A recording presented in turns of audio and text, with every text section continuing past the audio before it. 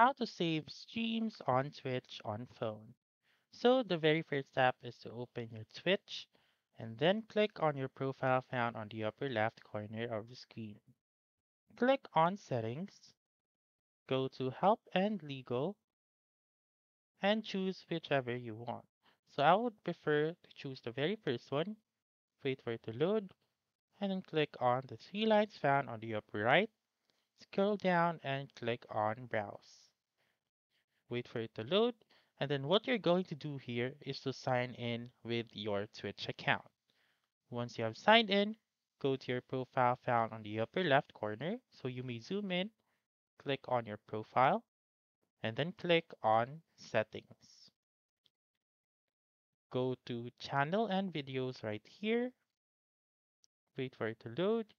Click on the three lines once again. Go to Stream. Click on the three lines. Scroll down and look for VOD settings. So in order for you to save streams on your phone, simply turn on the Store past broadcast. Click on that one make sure that the toggle button has now have a um, check mark. So always um, publish VODs, so turn on that as well. And then that's it. That's how you can save streams on Twitch on phone. So that's all for this video. Let me know in the comments section if this works out for you.